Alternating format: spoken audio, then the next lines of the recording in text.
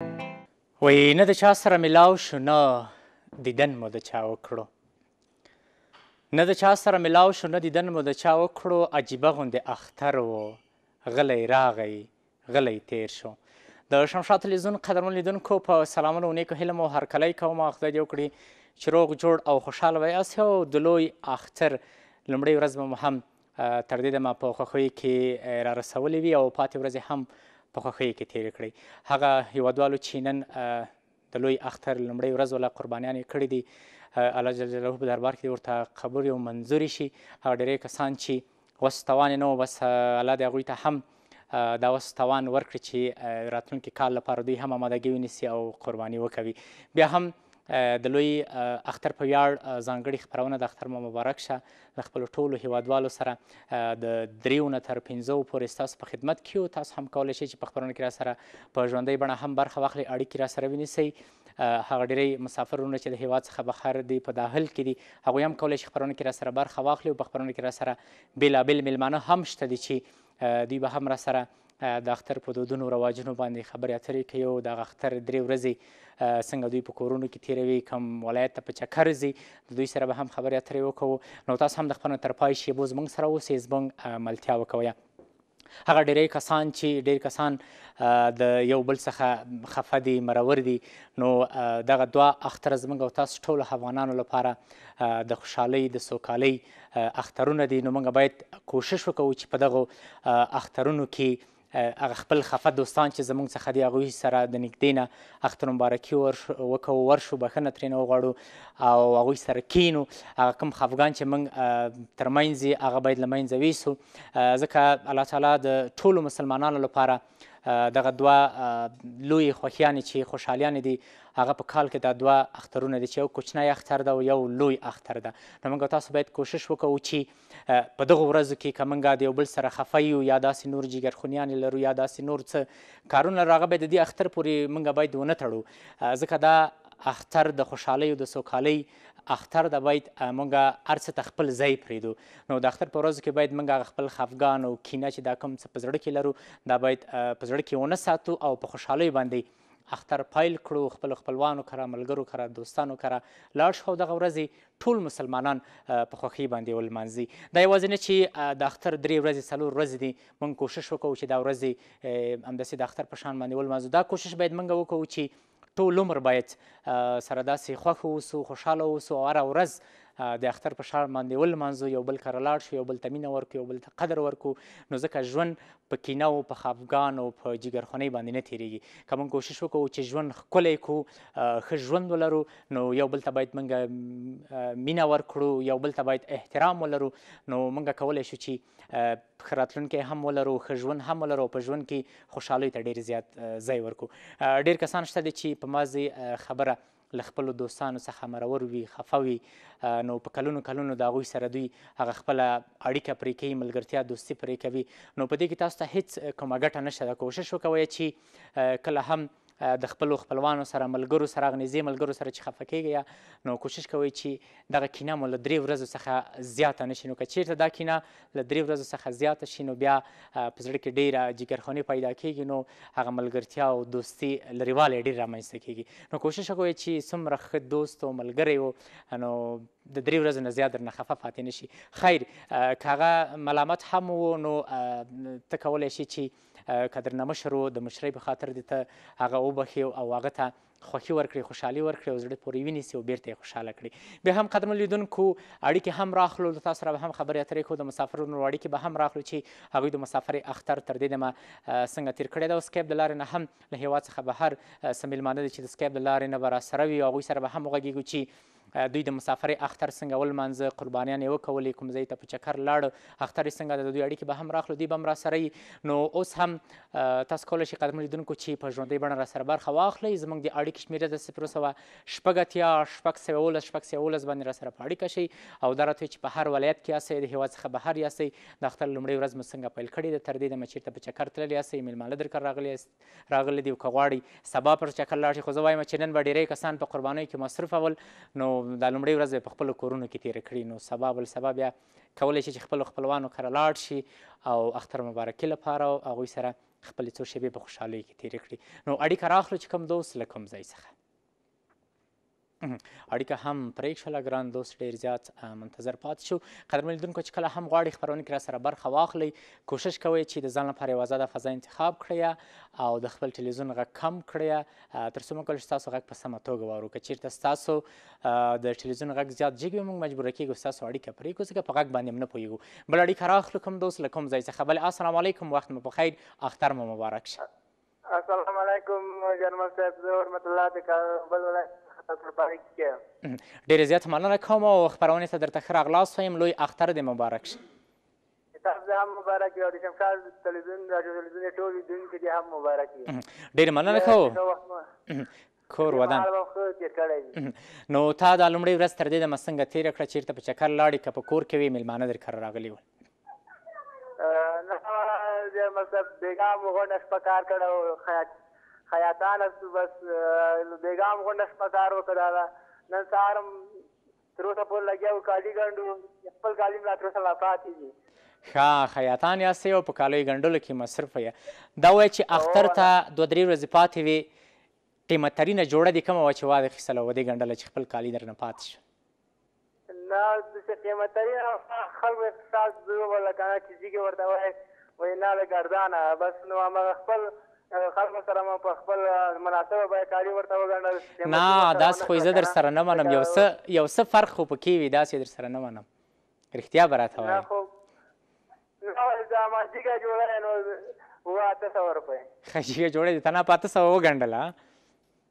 اوو. نه دا خو دې بیا ورسره لا زیاتی نه ده کړی که دا زیاتی دې کړی وی دې په دوه زره ګنډله.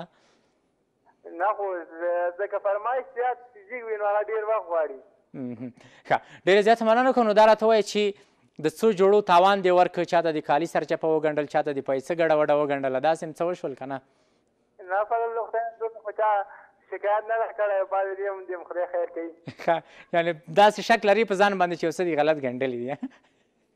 نه شک نه لرو خو بیا هم نه ویل کېږي ورخطایي دا بیروبار ده نو نه ویل کېږي چې د یو کمیس یو چاته ورکړی او د بل کمیس د بل چاته ورکړی که نه یاګان وخت داسې کېږي هغه جمله نوم لري که نه لمبر معنی دي ښه ډېر ښه نو دا راته وایه چې خپرونې ته راته څه وایې کوم شعر څلوریزه خپلو دوستانو ته اختر مبارکي نو مهرباني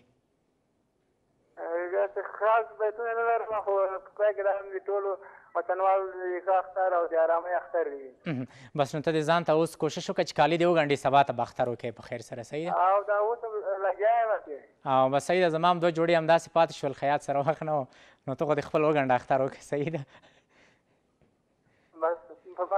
او ډیره مننه کوو ښه وخت خوشاله اوسې ښه ژوند ډیره زیاته مننه کوو له ګران ورور څخه چې خپرونه کې را سره برخه واخیستله او دوی هم خیاطان ول وایي کالیو بیروبار را باندې ډیرو نو هر چا سره مې د خپل یو توان چې مثلا د خلکو اقتصاد ضعیف ده نو د جوړې ګنډلو قیمت اصلا تر درې نیم سو نه تر څلور سو پورې ده نو ما ورته ویل چې تا خو به کومه جوړه تر دې دمه په قیمته بیه نه یې اخیستې وای نه ما په خپل ریټ باندې ګنډلې دي نو بیا یې په اته سوه روپۍ باندې یوه جوړه اخیستې وه یوه نه څو جوړې به البته اخیستې وې ځکه خپل کالي ترې نه پاتې ول نو هغه یې وګنډل خیر ځینې هیوادوالې چې مصروفه یې یو ځای کې یا کوم ځای ته په سفر تللي بیرته راشي او دم نو هغوی بیا د اختر لپاره جوړه کوي او بیا د دې ترڅنګ چې خیاطان هم ورسره لږ زره نازواني کوي لږ زره کالي ورته په قیمته ګنډي بل اړیکه راخلو چې کوم دوست له کوم ځای څخه بله السلام علیکم وخت مو پخیر هلو مهرباني اړیکه مو ورک شوې څوک له کوم ځای څخه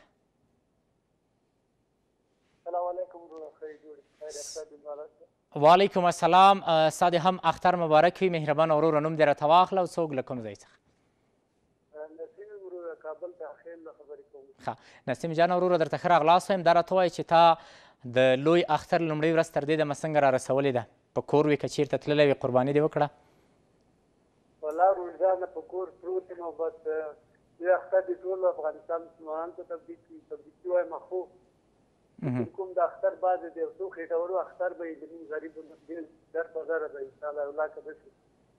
ورته ووینم چې خوشحالۍ باندې اختر تېر کړی یو ځکه د فقر اختر د بس په کورو کې ټول ناز دي او بعد کې یو څو خېټه ورو اختر ته دا به تېروي ډېرې زیات مننه کوم ورور امید ولرو ان شاء الله نا امید کیږو به نو بس موږ تاسو به په خپل کوشش وکړو چې دغه خوشحالي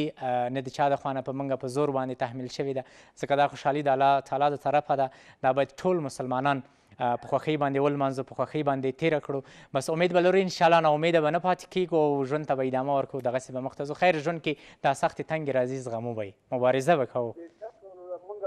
مونږ هدف دا ده چې خدای پاک دې مونږ ولس ته امين توفیق ورکړي چې یو بل ته لاس ورکړو یو بل ته خواخوږي وکړو او اختر تقریبا په خوشحالۍ تېر کړو ډیره زیاته مننه کوم او ډیره زیاته مننه کوم ورور الله دې د ټول عمر خوشحالي ستاسو په نصیب شي ښه ژوند ولرئ خوشحاله اوسئ د ټول ولس په نصیب دي چې پروردګار دې ټول ولس خوشحاله کړي او مننه کور ودان ډیره زیاته مننه کوم له ګران ورور څخه چې خپرونه کې را سره برخه واخیستله او خپل هیوادوالو ته هم اختر مبارکي ورکړله خو لږ څه خفه و خیر خفه کیږه مه کله کله ژوند کې انسان باندې هر حالات راځي باید موږ تاسو په خپل ژوند کې د هرې پیښې سره باید مبارزه وکړو او خپل ژوند ته ادامه ورکړو ژوند په خوښیو کې تیر کړو یو اړیکه بله راخلو بیا نو د خپرونې میلمانه راغواړو له هغوی سره به هم خبرې اترې وکړو په اخترونو به ورسره وغږېږو دغسې به سره مخ ته ځو تاسو هم د خپرونې تر پای شېبو زموږ سره اوسئ زموږ ملتیا وکړئ بلې هلو سلام علیکم وخت مو بخیر وعلیکم سلام ښه راغلاست درته وایم ستا د هم اختر مبارک مهربانه وروره نوم دې راته واخله څوک له کوم ځای څخه حکمت الله محمد در سره پخکې کوم د لغمان د قرغیو له سولې امن ولسوالۍ څخه سلامونه مینه احترامات او د اختر مبارکي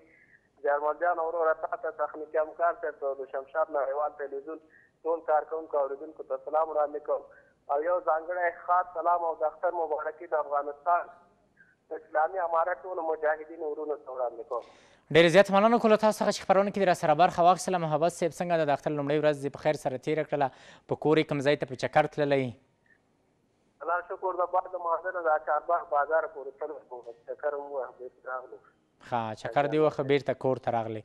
نور مرګري دوستان د اختر ورځ څنګه وه خلک بیروبار د خلکو ډیرو ولا شکر دا خو د ټول اختر او خو خوشحالي سره لمانځل کیږي او ماشاءالله ډیر ښه اختر روان دی ډیر زیات مننه کوم محبت سي مهرباني تاسو زمونږ د خبرونو همیشنۍ همکار یاستئ په نور خبرونو کې هم تاسو مونږ سره برخه اخیستې د خبرونې ته کوم شعر څلوریزه سره ته وایي چې درنه وایي ورو او وې تندې اخیستی یم آسمانه هله شا به کنه راځه را پرېوځه بارانه هله شا به کنه یو ورور راپاڅي په بل ورور پسې ټوپک ګرځوي په موږ راولوېږه آسمانه هله شا به کنه بس دی راځه چې خپل منځي جګړو نه تېر شو سره پسې خلاصېږو له ایمانه هله شا به کنه هسې نه دواړه د جنت په نوم دوزخ ته لاړ شو پوښتنه وکړه له ملا نه هله شا به کنه راځه چې زه او ته پردي د دې وطنه وباسو راځه چې زه او ته پردي د دې وطنه وباسو له تا نه ځار شم افغانه اله شابه کنه د بل په لفظ به نور او ته د بل په لفظ به نور زه او ته مرګونه نه کړو زړګی مې پړک شو له خفګانه هله شابه کنه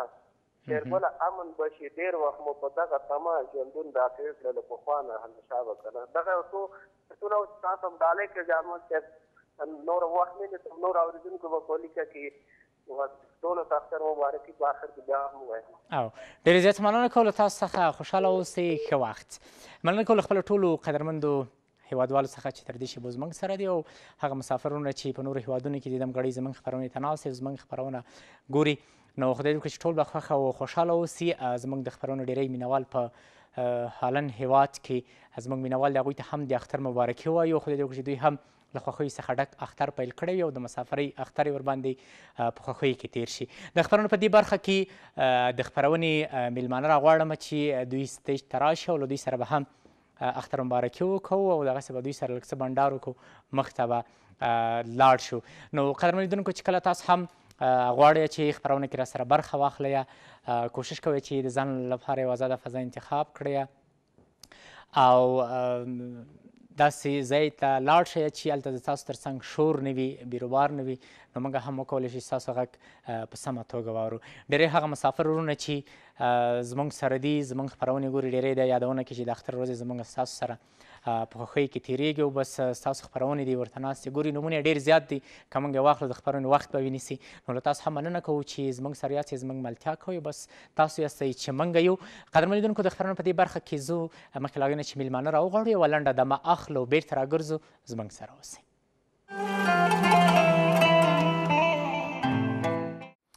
وایي اختر د تاته مبارک یو زه مسافر په غمو کې تیروم قدر ملیدونکو بیا هم ښه راغلاست درته وایم ځانګړی سلام او اختر مبارکي هغو قدرمن لیدونکو ته چې دم ګړۍ زمونږ خپرونې سره یو ځای شول او زمونږ خپرونه ګوري خدای دې وکړي چې هغوی هم خوښه او خوشحاله اوسي او دا څو لحظې زمونږ سره په خوښۍ کې تیر شي په خپرونه کې را سره زمونږ ګران میلمانه راغلل او ناست له دوی سره به هم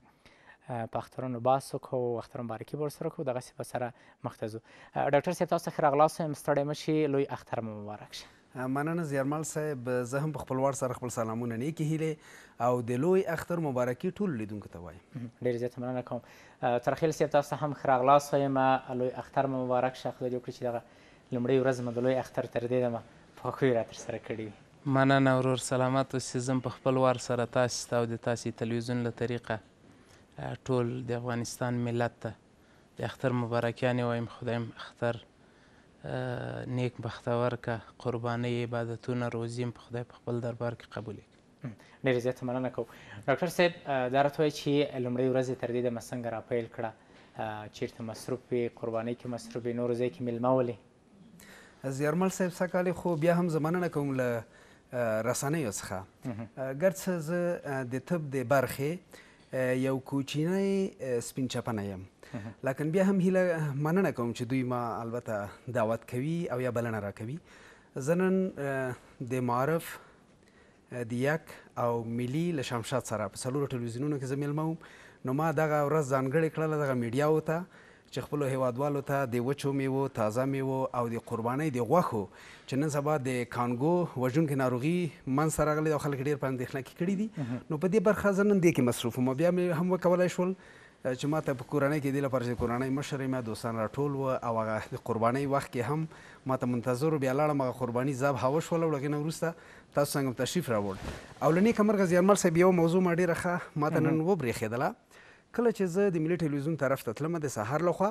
په دغه ټول ښار کې دغه امنیتي مسؤلینو یا مجاهدینو ډېر ښه امنیت نیولی و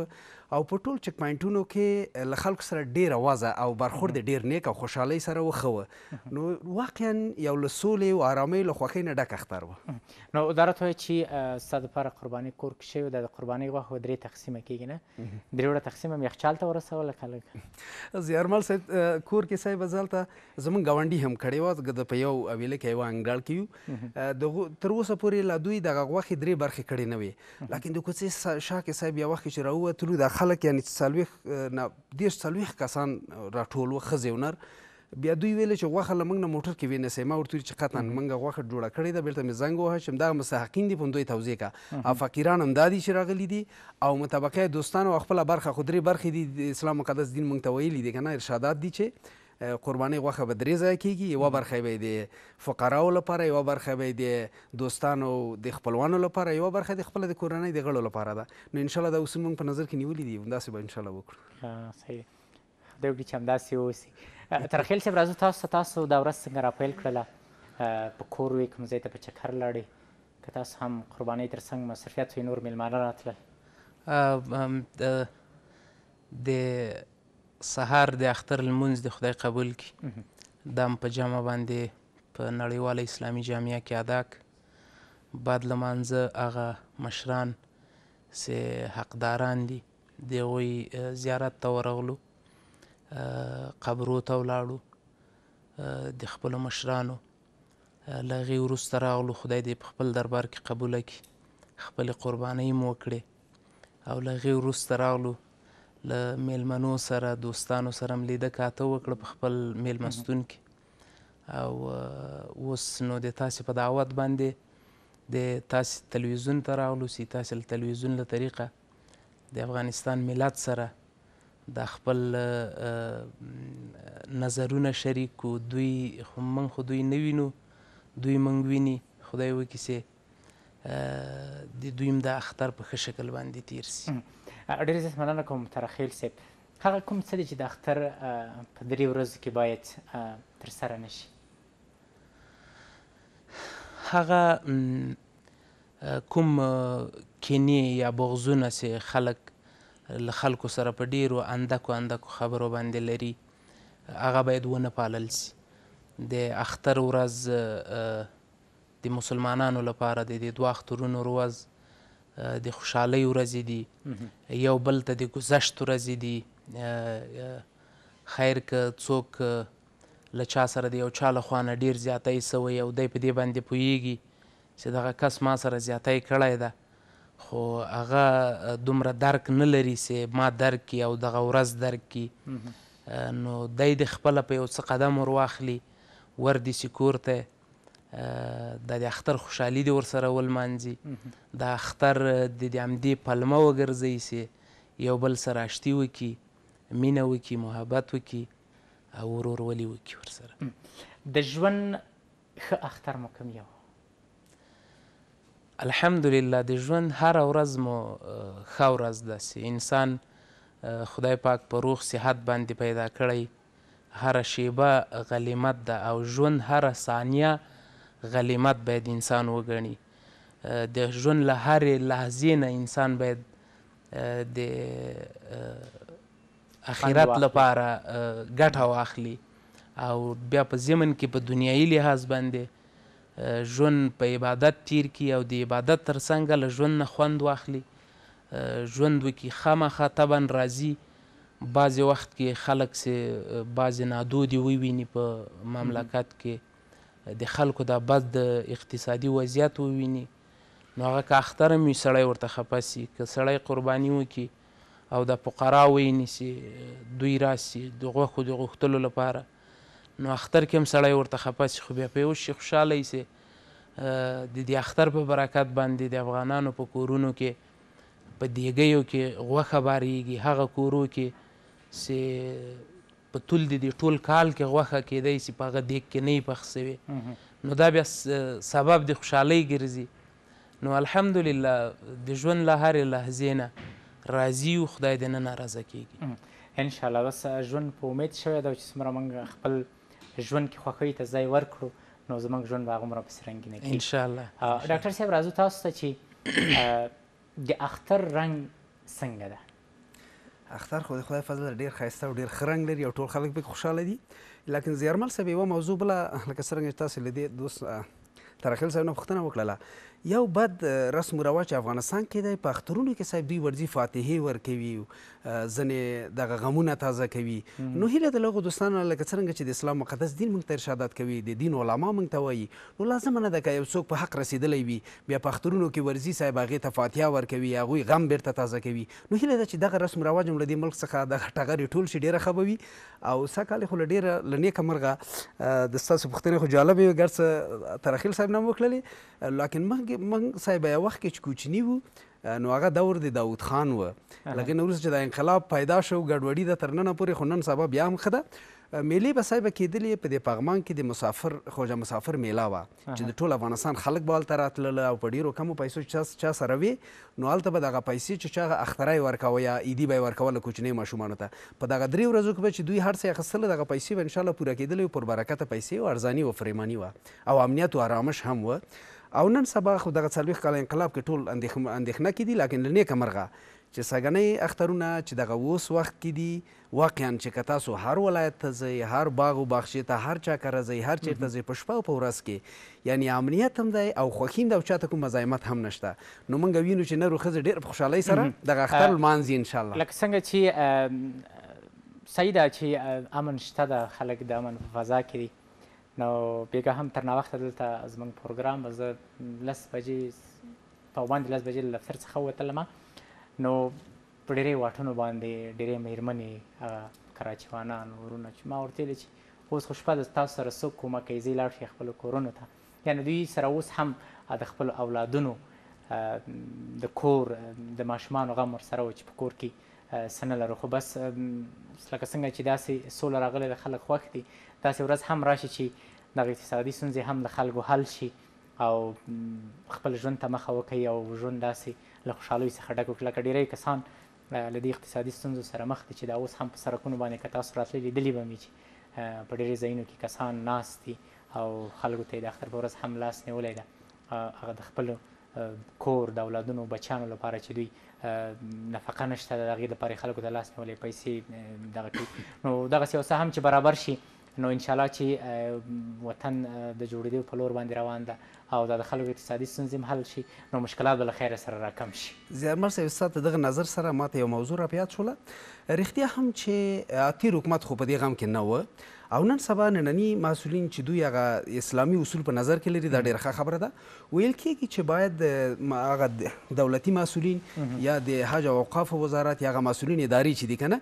دغه سوالګر یا دغه فقرا ځنې حرفوي یا مسلکي دي چې د دوی عادت شوی دغه دنده وظیفه ګرځېدلې ده او ځنې واقعا چې دوی فقرا دي یا مستحقین دي چې دوی ته دوی سره باید مرسته وشي یعنی که دغه خلک چې دا حرفه یې جوړه کړې کوچني ماشومان ښځې او ماشومان نه شپه ورځ کې کار اخلي او د دوی پیسې دوی اخلي او داسې یو حرفه یې جوړه کړې ده په مسلکي ډول باندې به تاسو ښار کې لیدلي وي چې دومره په مهارت سره دوی دغه سوالګر دي چې حیران ورته پاتې کېږې او د دوی پیسې او څوک اخلي نو دغه مسولین په دې کوښښ کې دي او هیله ده چې بیا هم دې ته پاملرنه وکړي چې دغو کسانو ته د شریعت او د قانون له لحاظه جزا ورکول کېږي دا یو جرم دی یعنې ډېری کسان په حرفوي ډول باندې غیر قانوني دوی صاحب سوالګري کوي او ځینې کسان دي چې واقعا مستحق دي هغوی سره باید مرسته وشي د اسلام مقدس دین او هغه انساني اصول موږ او تاسو ته دا حکم کوي چې باید دوی سره مرسته وشي هغه مساخینو سره لاکن دغه حرفوي خلک چې هغه اصلي خلک یې تر سوال لاندې راوړي دي او خلک ډېري مرستې ورسره نه کوي د دوی عادت ګرځېدلی دوی وظیفه ګرځېدلې ده رښتیا دغه که تفکیک شي یا مشخص شي ډېره ښه به وي. راځو بېرته تراخیل صیب تاسو ته چې دا د اختر درې ورځې دې څنګه تنظیم کړي دي درې ورځې په کور تېروي ملګرو ته یې ورکوي چېرته ځئ؟ د اختر درې ورځې نن ورځ خو له تاسې سره تېره شوه نو سبا ورځ انشاءالله ارادم ده چې د خپلو دوستانو اقاربو مشرانو لیدو کتو ته ورسو چې څوک پاتې دي او درېیمه ورځ که ژوند و انشاءالله نو هغه به بیا یو تفریح وکړو چکر به پکې ووهو نو که چیرته کوم واقعي بې واقعي الهي ان شاء الله او چې که چکرونه به مو ارادې هم خدای را بدلې نه کړي او ان شاء الله د عمر څو اخترونه دې چې تیر کړي دي د ماشومتوب اوس هم ځوان یې خو د زلمیتوب او اوس کوم اختر درته ډیر ښه و ولا هغه اختر اخترونه خو بیا هم ټول بیا هم زه وایم چې د خوشحالۍ ورځې دي سړی بیا د خدای نعمت ده په دې کې شکران کې کفران ونه کړي خو هغه اخترونه چې مور او پلار هم حیات و هغه خوندور اخترونه وه ورتلو د مور و پلار دیدن هم کاوه ورسره کېناستو د اختر مبارکیانې هم کولې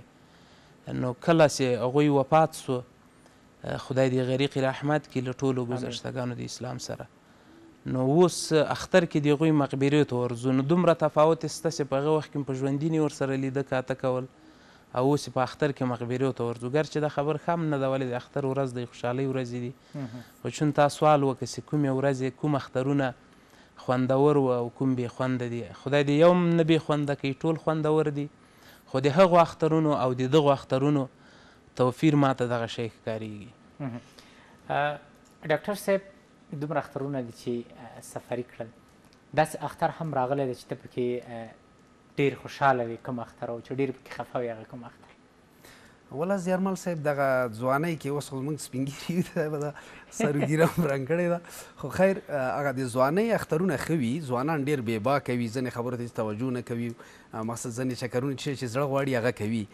دومره هغه اصول نه مراعاتوي که نه چې باید مشرانو کشرانو ته نو هغه ځوانۍ کې اخترونه ډېر خوندور وه او ښه وه لاکن وروسته چې مسولیتونه ډیر شو اوس لکه څرنګه چې ترخیل صاحب ویل و صاحب مشرانو ته به موږ ورځو ځنې چې کوچنی دی مشران موږ ته راځي هر چا سره به صاحب لیدو کاته کوو دغه اړیکې په اسلام کې او افغاني اصولو کې ډیرې دي تاسو خو وینئ چې په اروپایي او ځینې سیکولر ملکونو کې حتی هغه مور و پلار یا فامیلي اړیکې ډېرې سره ضعیفې دي که نه هلته هر څه د ماشین په ډول دي یعنې د دوی ژوند چې هغه اسلامي اصولو کې تشریح کېږي رښتیا هم چې یو حیواني ژوند ده داسې ارتباطات و مناسبات اجتماعي ډېر کم دي سره هغه مینه او محبت چې په اسلامي ټولنه کې یا په افغاني ټولنه کې ده په نورو ټولنو کې نشته نو دا له نېکه مرغه چې په کورنیو کې په ټولنو کې په قوم کې په دوستانو او اقرباوو کې چې ناسته ولاړه سره کوي، یو د بل له وخت نا وخت له ناروغۍ نه، له لوږې او له مړښت نه خبرېږي، په غمونو او په ښادیو کې سره شراکت کوي او له بل سره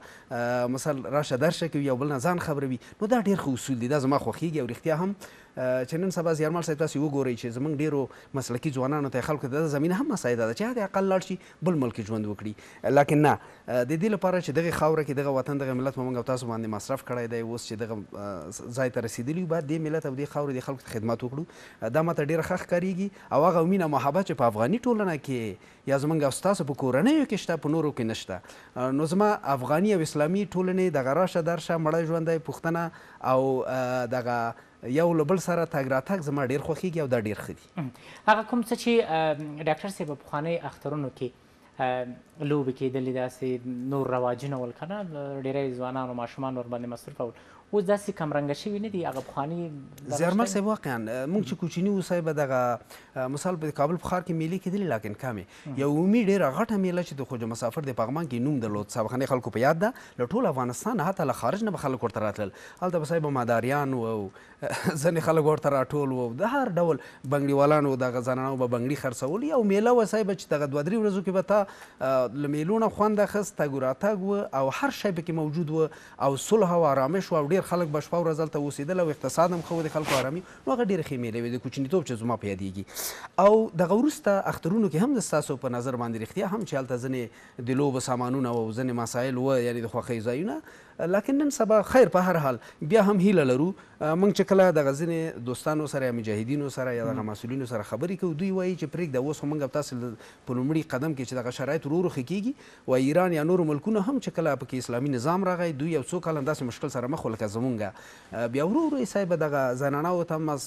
زمینه مساعده کړله چې خپلو دندو، اجتماع کې، ټولنه کې سهم ونیسي او بیرته هغه څه کړه وړه چې وه په لاس راغله. یعنې داسې تصور هم نه کیده د خلکو چې په افغانستان کې به داسې اختر راځي او دغه اوسني شرایط خو الله دې موږ او تاسو باندې ورحمیږي او شکر یو شکر ګزاري کوو چې ډیر ښه دي بد نه دي. تاسو سره به خبرې کوو دغسې به مخته ځو خو د خبرونو په دې برخه کې قدرمن لیدونکو ځو یوه لنډه دمه اخلو بیرته راګرځو زموږ سره اوسئ.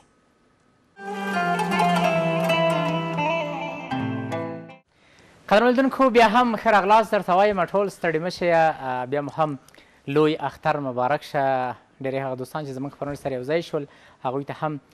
د لوی اختر مبارکي ورکوم خدای وکړي چې هغوی هم خوښ او خوشحاله اوسئ ترخیل صاحب راځو تاسو ته چې دا د خلګو مینه او محبت اوس ډیر کم شوی دی کنه په اخترونو کې لکه پخوا په شان باندې مخکې ډاکټر صاحب هم یادونه وکړه چې پخوا به میلې وې تګ راتګ به خپل خپلوانو سره اصلي حیلت د دې څه ده چې داسې کم رنګ شوی دی دا رواج اوس خپل خپلوانو کره خلک ډیر کم ځي هغه ماشومان به پخوا به یو بل کره ډوډۍ ول تګ را تګ به وکنه اوس داسې ښارونو کې خو کم رنګ ده که اطرافونو کې دغسې به یې یو څه نو ولا په اطرافونو کې هم کم رنګ ده د ما په یادښت باندې چې د اختر مونځ به یې موږ په منطقه کې اوسو نو خلک به یو بل ته به میمنیانې کولې لمدې مانځه نه به خلک ویستل تله به یو ورځ به د یو طرف د شرق د طرف د خلکو خلک میلمانه و بل طرف به د غرب د خلکو همغه د منطقې د خلکو ماشومان به و دا انګر و پخر به نه و د تا ماشوم به ما کره راته خپله ایدي به یې غوښتله او د ما تا کره یې ما په نظر باندې یو څه لږ بدبینیانې پیدا سوي دي، خلک اوس یو بل ته څوک ځان کم نه راولي، یو بل ماشوم نه پریږدي سي چا کره لاړ سي، نو دا هغه یوم البتر ویلی ده ورورنو. ورځ په ورځ باندې دغه مسایل لږ لږ کمرنګه کېږي، هغه پخوانۍ مینې ختمېږي. زه چې دا خپل د عمر چې کومه تجربه ما پکې کړې ده چې له هغه افتدا نه تر اوسه پورې څومره تغیرات راغلي دي، نور هم دا تغیرات منفي طرف ته روان دي، نو خدای پاک دې ورحمېږي، خدای دې د افغانانو په منځ کې یو اتفاق او اتحاد پیدا کړي، لږ دا د انقلابونو وجې هم وې، انقلابو هم لږ خلک سره تنظیم تنظیم بازیانو خراب کړي وو سه دوه ورونه به یو به یو تنظیم سړی و بل به بل تنظیم سړی و هغه ګوندینې به په د ګوند تنظیمونو اختلافونه به خپل کور کې سره پالل نو اوس الحمدلله یو نظام حاکم سوی ده سه خدای وکړي د افغانانو له ذهن نه دا تیرې تنظیمي کړنې یا بغزونه دا مو ووځي او بیرته یوه ورورولي شروع سي، مینه شروع سي، اخوت شروع سي. ډاکټر صاحب څنګه کولای شو چې دغه مینه او محبت بیرته پیدا شي پخوا په شان باندې تک راتک تک راتک د خلکو زیات شي خپل خپلوانو کره څنګه کولای شو دې ته ژمن پاتې سو بیرته په هغه رقم سره مخته لاړ شو ژوند وکړو؟ ګوره زیارمل صاحب که چیرته هغه د پیغمبر صاحب حدیث یا هغه ارشادات د حضرت محمد صلی الله علیه وسلم په نظر کې ونیول شي ډیره ښه ده وګوره وایي چې یو ښه رویه یا ښه خبره دا صدقه ده نو که په دې زمونږ خلک پوه شي چې ښه رویه یا ښه تګ راتګ یا ښه کړه یو له بل سره نیک کارونه کول دا ټول صدقې دي او دا خیر مقصد د هغه ثواب او پاداش چې موږ ته په دنیا او په آخرت کې رسېږي، نو په دغه فکر سره هم انشاءالله دغه مشکلات رفع کېږي. لاکن له بده مرغه لکه څرنګه چې ترخیل صاحب وویلې، په تېرو وختونو کې زیارمال صاحب تاسې وګورئ، یوه کورنۍ غړي به بل چا کره تلله، پېغلو یا هلکانو به یو ځای سره هر څه کول، مثال لوبې، دا خبرې نه وې، یا مثال له کورنیو یا قومونو چې راشه درشه کول، هغه مینه چې له قوم، له ځمکې، له ټولو ولسونو سره وه، ډېره ښه وه. نن سبا تاسو وګورئ په هغه زمان کې اختطاف نه وه، د بډوډو خرڅول نه وه، انتحار نه وه، مثال یو بل ته زیان رسول نه وه، یو بل وژل نه وه، په یو بل باندې لار جوړول نه وه، له بده مرغه چې نن سبا افغانستان نړۍ سره وصل شه په نورو هیوادونو کې که غلا وي که کیسه بورې وي تاسو وګورئ دا موبایلونه چې نن سبا پټیږي له نیکه مرغه چې نن سبا خو دغه خبرې ورکې شولې دغه تیر وخت کې موبایلونه به ګوره چا له جیب نه نه شو راویستلای دغه خو له نورو ملکونو ګاونډیو نه موږ ته دغه میراث راغی دغه په جادو یا په سړکونو یا په واټونو کښې د خلکو ځورول. اوس هم لا تښتي بله ورځ زموږ د همکار د غوږ نه دی وتلی. مقصد ډیر کم شوي دي د خدای فضل ده دغه مجاهدین یې نیسي نه یې پریږدي جزا ورکوي او مخکې خو به غلو سره مرسته کیدله خو په هر حال د دې لپاره چې اختر ده دغه تیرې دغه بدې خاطرې به نه یادوو خوږې به یادې کړو نو هیله ده چې لکه څرنګه چې نن سبا موږ وینو واقعا ولا زه وینم په دغه درې ورځو دې اخترونو کښې چې نارینه ښځې کوچیني ماشومان شپه او ورځ که هر طرف ته ځي، که په پښو ځي، که په بایسکلونو ځي، که په موټرو کې ځي، ډېر خوښ او خوشاله دي، ډېره ګڼه ګوڼه ده او ډېره صحیح ده چې اقتصادي مشکلات شته، خدای مهربانه دی که اقتصادي مشکلات به هم رفع شي او ورک به شي ان شاءالله، لاکن له بده مرغه چې دغه ستونزه یوازې په کابل کې ډېره ده، په ولایتونو یا په اطرافونو کې ټول خلک مثال یا دهقانکاری کوی یا نور تجارت او سوداګری کوی یا کاروبار کوی مقصد لګیا دی باغ لری ځمکه لری مالداری لری ان شاءالله ژوند یی ښه دی لکن د کابل په ښار کی او نن سبا قناعت هم نشته په حدیث شریف کی راځی که موږ په خپل برخلیک باندی قناعت ونه لرو نو ماړه به نشو نو رښتیا خبره هم ده د کابل ښار کی یو سړی یو لاک دوه لاکه څه ورته وایی سوپر سپیشل ورته ویل څه ویل یو رقم ماشونه و صاحب فوق العاده خو عادي ماشونه والله زره 15000 سوپر سکیل وت شي هغه ماشونه و چې 2 لک او 3 لک او داسې نو هغه کسان کورنۍ نن سبا په اندېښنه کې دي یا مثال خفه دي یا ځنې کسانو کې چې ډیر فوق العاده ماشونه ژوند ډیر لوړ و نن سبا د سیادي د موږ تاسو ژوند سره برابر شوی نو غي خفه دي کنه په ټوله کې ټول مامورین معاش لري، معلمین لري، زنانه که دفترونو ته ځي که په کور ناستې دي خو معاشونه یې ورته رسیږي، ټول یې اخلي، نو هغه دوکانداران، ډریوران ژوند ښه روان دی زیارمل صاحب که سړی واقعیت ووایي ښه ډاکټر صاحب نو دا چې اوس زما ژوند څنګه ده زیارمل صاحب اوس چې دی دغه دغه ژوند دغه مار ګوره مصنوعي نه دی واقعي مار دی نو دغه چې ما ولید ډاکټر مې تا ویل زه دم هم لرم او دوا یې هم لرم زما زما خبرې دغه لیدلو سره لکه چې کمزور شو خلاصیږي خو ګر څه خو دا غواړي چې ستا خواته راشي ډاکټر صاحب خو داسې دی چې موږ سره مقصد بیا دوا شته واکسین واکسین لرو خو دم هم لري مقصد بیا هم چې هر څه وي په روحیاتو باندې منفي تاثیر لري او آفرین چې تا لاس کې نیولی دی ولا دا خو مصنوي نه دی ګران لیدونکي به یې ګوري درخوشي کوم که لاس کې نه نه لیدل کېږي انشاءالله چې لږ هغه خلک یې ګوري چې ژوندی تا سره ښه ده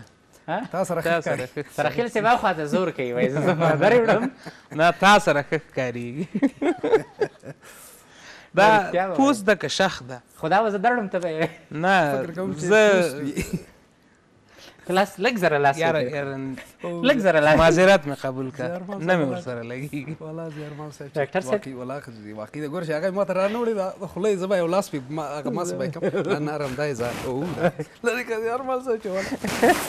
دا لګي دا څه لکه چې زیارمل صاحب ولا چې فکر کوم لازم ډاکټر صاحب ته وایي چې دومره قوي مې ته خدا سه لکه ماشوم چې د پچکاري نه ډاري دا څه ده زیارمل صاحب دا څه ده دا څه نه چې به وخت ته به چی وروره جبم راو باسي ګره پام ده خطرناک دی ګرڅه دی الله پاک مخلوق دی دغه هم وجل لازم نه ده د دې لپاره د دې لزهریاتونه ډیر خداو درمل جوړیږي د زنه ناروغي د مخنیوي لپاره او د وقایې لپاره نو دا هم د الله پاک مخلوق دی دا هم د انسان په ضرر نه دی په ګټه دی په ګټه یې ده واخله چې ځوان مال صاحب اوس نه خو کله چې موږ تاسو سمه ګټه ترې واخلو په ګټه ده هغه په ګټه یې چې درې کم اوس ما ته په ګټه ده که نه بس تاسو سره ښه ښکاري زیارمل صاحب ولا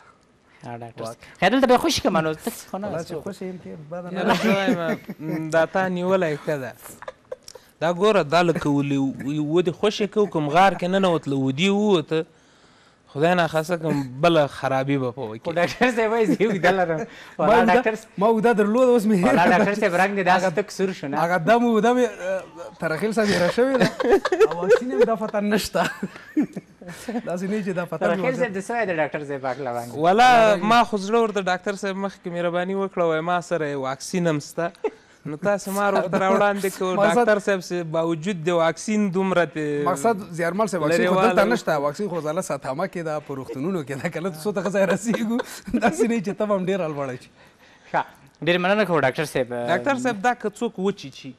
نو وژني اجل که نه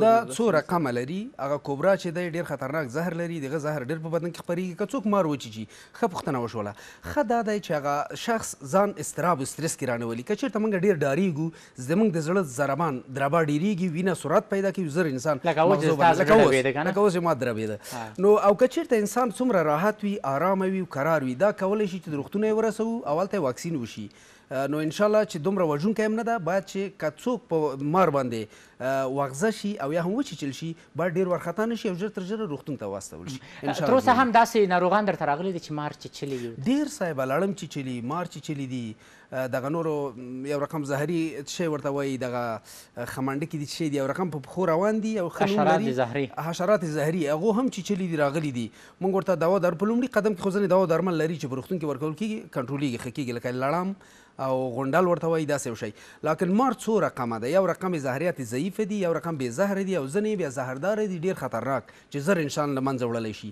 نو د دې پېژندل ډاکټر ته لازمه دي ځنې دوه غاښه لري ځنې څلور لري ځنې یو غاښ لري نو دغه هغه ډاکټران چې په دې بخش کې کار کوي هغه پې پوهېږي چې کوم ناروغ ډېر خطر سره مخامخ ده هغه باید عاجل روغتون ته واستول شي. اوس به د ده غاښونه وګورو چې څو دانې یې رنګ شوي. زیارمل صاحب اوس خو یې وسایل هم نشته، داسې نه وي چې رنګ هم نور پسې سور شي او خراب شي. ښه، ډېره مننه کوو ډاکټر صاحب. را وښیدل چې تاسو په سر کې یادونه وکوله چې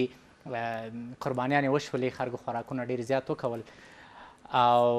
د دې تر څنګ چې د اختر ورځې دي، ګرمي هم تر څنګ ده، وچې مېوې هم ډېرې خوړل کېږي. څه لازمه ده د دوی لپاره چې څه وکړي په دې ورځ؟ زیارمل صاحب فکر کوم چې دا خو بحث ډیر وسیع دی او ستاسو وخت کم دي خو په هر حال زه به لنډ لنډ ځوابونه ورکړم وچه میوه ډیره ګټوره ده لکن ډیر خراب خوراک یې زیان لري د دې لپاره چې غوړینې او هغه کاربوهایډریټي قندي مواد یې ډیر دي له بلې خوا نه وچ دي ګردو خاورو دوړې ورسره دي د ستوني درد تبه او ناروغي منځته راوړلی شي تازه میوې ښې دي لکن ډیر خوراک یې بیا هم ښه نه دی هغه څوک چې ډیابیټ لري لوړ فشار لري او اوبیسیټي یا چاقوالی لري، د هغو لپاره زیانمن دی. که چېرته یې ډیابیټ یا شکر یې لوړ شي یا فشار یې لوړ شي، حتی د سترګو رویت یې له منځه ځي او ړندېدو طرف ته یې بیایي. او د دې په څنګ کې دغه غوښې خو نن سبا زیارمل صاحب تاسې وګورئ چې قربانۍ کېږي، غوښې نن سبا په هر کور کې او هغه کېږي که نه، ذبحه کېږي او جوړي. نو د دې لپاره هغه وینه د حیوان باید محفوظ ځای کې واچول شي، حیوان پرېښودل شي چې وینه یې ټوله لاړه شي او غوښه باید ښه جوش شي او وساتل شي، له هغې نه وروسته ګټه ترې واخلي، انشاالله نه ناروغه کېږي. دوستان! او د کانګو ناروغي چې ډېره وژونکې ناروغي ده چې هغه د خولې او د بدن له اجوافو نه د وینې جاري کېدل او وژنه منځ ته راوړي دا موضوع ډېره مهمه ده او د دې په څنګ کې هیله زما دا ده زیارمل صاحب چې د هوا ډېره ګرمه ده زموږ دوستان باید غوښې انبار نه کړي او د لاندي او د وچېدلو په طرف یې وینسي او ځینې دوستان له بده مرغه چې هغه درې اصول د اسلام هم نه مراعاتوي یعنې درې برخې یې نه کوي هغه ټوله ځان ته ساتي او نن سبا که یخچالونو کې هم ساتي ولا ځنې دوستانو کې ما ولیدل چې په یخچالونو کې ایښي دې لپاره چې برېښنا تل نه وي یعنې هر وخت برق نه وي نو په دې وخت کې د دوی دغه کله چې بوی تعفن پیدا کړو نو هغه غوښه د استفادې وړ نه ده باید ګټه ورڅخه وانخلي که بوی تغیر شي رنګ یې تغیر شي او تعفن یې پیدا کړي هغه غوښې نه باید ګټه وانخلو. او ناروغه حیوانات باید ذبح نه شي. څنګه کولای شو چې ډېری کسان دي چې ځي مالونو پسې مال اخلي هغه په دې څنګه پوه شي چې دا مال مرض لري کانګو نیولی ده؟ زیارمل صاحب تاسو وګورئ د کانګو یا د نورو حیواني ناروغیو اعراض او علایم په حیوان کې ډیر کم دي ډیر نه څرګندیږي ظاهریږي نه لکن په انسانانو کې اعراض او علایم لکه د بندونو دردونه تبې د عضلاتو دردونه ضعف بهالي او معصومیت منځ راوړلی شي لکن په حيوان کې لکه څرنګه چې د پيغمبر صاحب په حديثو کې واضح شوي دي او طبابت هم دا تاييدوي چې هغه حيوان چې ډېر ډنګر وي هغه ناروغ دی هغه حيوان چې له خولې او له پوزې څخه يې اوبه يا افرازات راځي هغه ناروغ دی هغه حيوان چې مثال علف يا سبزي نه خوري يا دغه خپله ګياهان يې نه خوري که نه هغه ناروغ دی هغه حيوان چې مثال تبه لري يا ځنې هغه دانې یا ځنې علایم پکې لیدل کېږي په واضح ډول باندې. دغه خپله کنه چې په پښتو کې ورته خمنډکی وایي، دا په حیواناتو کې شته، په وزو کې، په غویانو کې او په پسونو کې. دا باید یوه میاشت مخکې یا دېرش ورځې مخکې بعد له دې نه چې دا قرباني کېږي یا ذبحه کېږي حیوان، باید د دې هغه طبیله چې پښتو کې ورته د خښ ورته شی وایي بیله ورته وایي طبیله طبیله او د حیواناتو غوجل غوجل دغه غوجل او خپل د حیواناتو دغه څرمن یا دغه خپل په هغه چې دی وړی دا باید د واپشي شي د وترنرۍ ادارې له خونه او د عامې روغتیا د وزارت له خونه بیا له بده مرغه په نورو نړۍ کې په نورو ځایونو کې حیوانات لایسنس لري که واکسینیشن کیږي هغه صحت روغ کیږي د ښاروالۍ د صحت محیطي یا د روغتیا د محیطي روغتیا ریاست په دې برخه کار کوي، خو لږ څه ستونزې لرو. امیدوار یو چې ټول حیوانات د افغانستان واکسینېشن شي. صحت او روغ او ناروغ حیوانات باید د وترنرۍ ادارې او د عامې روغتیا وزارت ته معلوم وي او هغوی لایسنس ولري، چې له بده مرغه دا افغانستان کې نشته. لاکن خپله هېوادوال باید وګوري چې هغه حیوان یا خپله څاروی باید ناروغ نه وي او غوښې یې که چېرته تغیر رنګ کړی وي، بوی ولري، له هغې څخه ګټه وانه خلي. ډېره زیاته مننه کوو ډاکټر صیب محترم چې راغلې خپرونه کې مو راسره برخه واخیستله. مننه زیار باسه. ترخیل صیب له تا هم ډېره زیاته مننه کوو چې راغلې. د اختر لومړۍ ورځ مو دلته زموږ سره ولمانځله. سبا ده او بل سبا ده زموږ درته اجازه ده چې هر چیرته په خیر سره زی لاړ شي کار وکړه خو کدا وایي چې در سره ویلي ماران نظام سره ډیره مننه وروره تاسو نه مننه کورم ودان سي منګم را دعوت کړو د افغانستان ملت سره مخاطب کړو خوشاله اوسېږي بس تا بل هم دې مار سره پرېږدو خدایم پردې سره وکړه نه ته ورې خپرونه زه وخت اخلم دا درپسې خوشي کوم قدرمن لیدونکو د خپرونې په دې برخه کې زو لنډه دمه اخلو نور میلمانه هم راغلي دي هغوی سره به هم خبرې اترې کوو تاسو هم د خپرونې تر پای شېبو زموږ سره اوسئ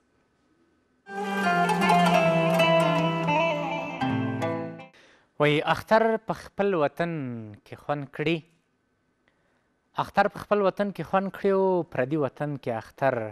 کله خوند کوي نه قدرمن لیدونکو بیا هم ښه راغلاست درته وایم ټول ستړي مه شئ وخت مو په خیر بیا مو هم لوی اختر مبارک شه هر چېرته چې یاست یا کوم ځای کې میلمانه یاست یا میلمانه در کره راغلي یا کوم ځای ته په چکر تللي یاست بیا مو هم اختر مبارک شه او د اختر څخه دا درې څلور ورځې خوند واخلئ چکرونه ووهئ میلې وکوئ او خپل ژوند په خوښیو کې تیر کړئ د خبرونو په دې برخه کې بیا هم را سره علي رضا مارګید او ترڅنګ یو بل شاګرد هم ورسره ده چې رنګارنګ ماران یې له ځانه سره راوړي دي او دوی سره به هم خبرې اترې کوو او د دوستانو اړیکې به هم راخلو، خو لومړی ځو اړیکې ته، اړیکې نه مخکې راځو اول علی رضا تا سره به اختر مبارکي وکړو ځکه چې ماران بیا راخوشې نه کړي ماته، ښه راغلاست درته وایم اختر دې مبارک شه ستړی مه شې. بسم الله الرحمن الرحیم زه هم په خپل وار سره د لوی اختر مبارکي ټول دوستانو ته وایم او د تاسو د ځانګړې خپرونې نه د لوی اختر مبارکي ټول دوستانو لیدونکو او کتونکو ته وایم او د اختر مبارکي ورته وایم. ډېره زیاته مننه کوو. تا ته هم ښه راغلاست وایم، په خیر راغلې، ستړی مه شې. سلام عرض ادب دارم به تمام بیننده های تلویزیون شمشاد خدا کنه یک عید خوب و خوشی داشته باشن و عید همشان تبریک باشه. ډېره مننه کوو، خوشحاله اوسئ چې راغلئ په خبرونه کې مو راسره برخه واخیستله. نو وروسته به نورې خبرې هم کوو، په مارانو به هم غږېږو، دغسې به مخته ځو، خو یوه اړیکه راخلو چې کوم دوست ده له کوم ځای څخه. بله، السلام علیکم، وخت مو په خیر.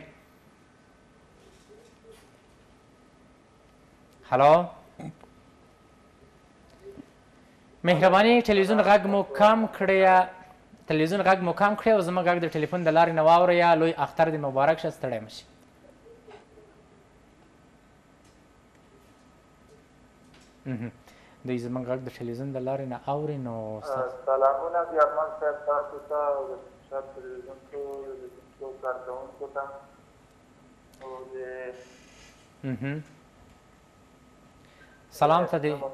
تاسو له طریقه د افغانستان ټول حضور او مسلمان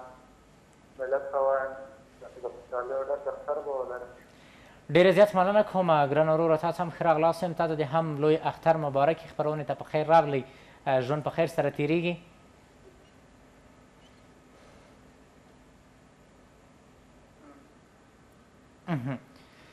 نو دوی زمونږ غږ د ټلویزیون د لارې نه اوري قدرمن لیدونکو چې کله هم تاسو غواړئ خبرونه کې را سره برخه واخلئ تاسو کولی شئ چې زما غږ د خپل ټلیفون د لارې نه واورئ نو که چیرته تاسو د ټلویزیون د تاریخ نه زمونږ غږ اورئ ټلویزیون غږ مو جګ وي نو موږ مجبوره کیږو چې تاسو اړیکه پرې کړو ځکه هلته د نورو اوریدونکو وخت نیول کیږی نو چی کله اړیکه نیسئ یا د خپل ټلویزیون غږ کم کړئ او مستقیم راسره وغږیږئ زما غږ کولای شی تاسو د خپل ټلیفون د لاری نه واورئ او که د ټلویزیون د لاری نه اورئ او څو دقیقی فرق راځی نو بیا نشو کولای چی ستاسو غږ په سمه توګه باندی واورو بله اړیکه راخلو بله بله السلام علیکم وعلیکم السلام ښه راغلاست درته وایم ورور اختر دې مبارک شه ستړی مه شي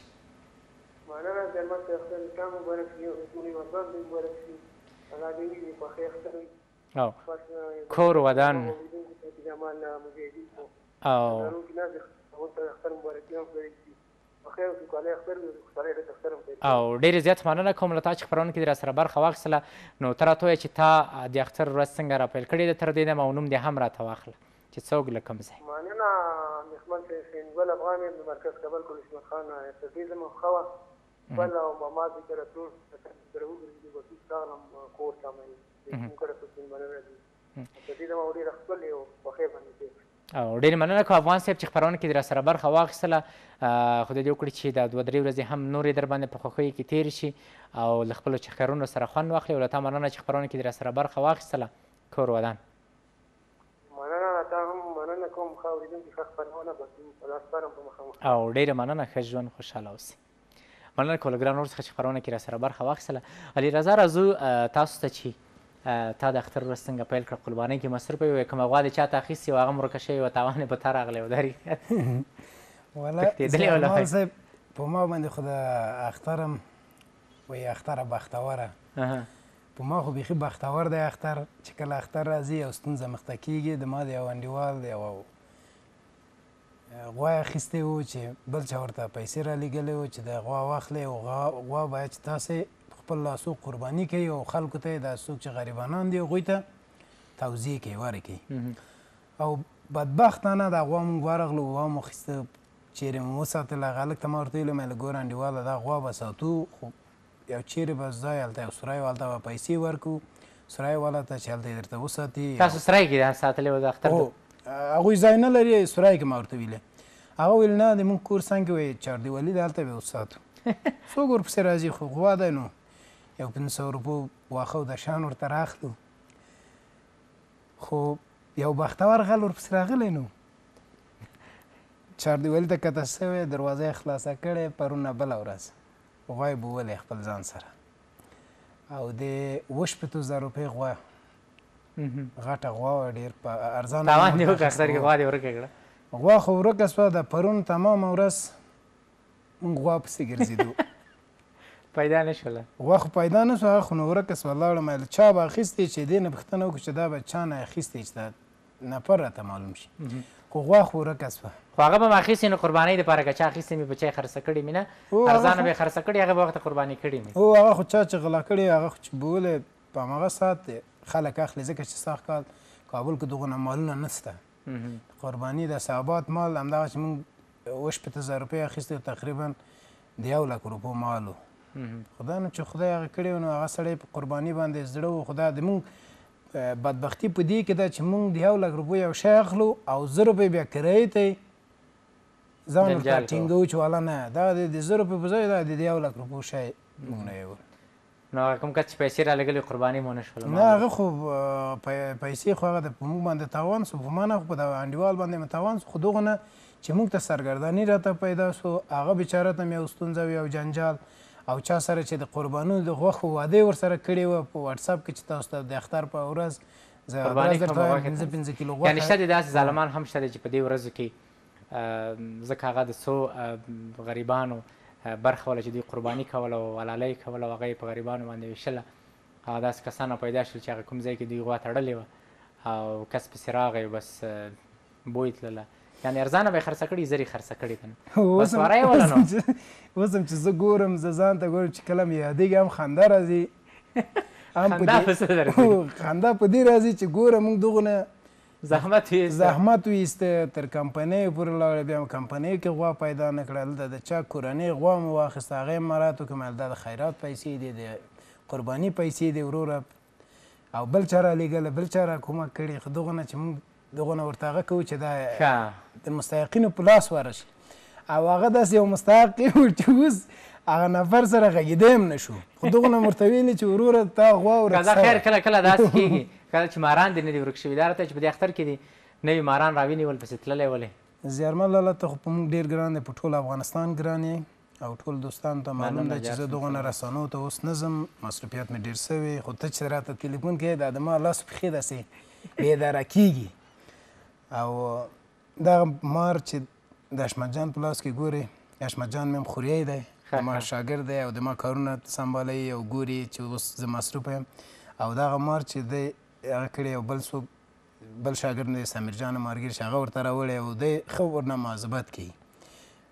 غوښه ښه په وخت ورکي اوبو ښه په وخت ورکي ښه ځای کې ساتي رسیدای ورته اشمت جان دا دوه نور ماران دوه درې دا نور هم دي هغه اوس د ما مصروفیت لږ ډېر سوي اوس ته نه ځې پسې چې راویې نیسي نه اوس جنجال مې دوی ته پرېښي دوی پېږي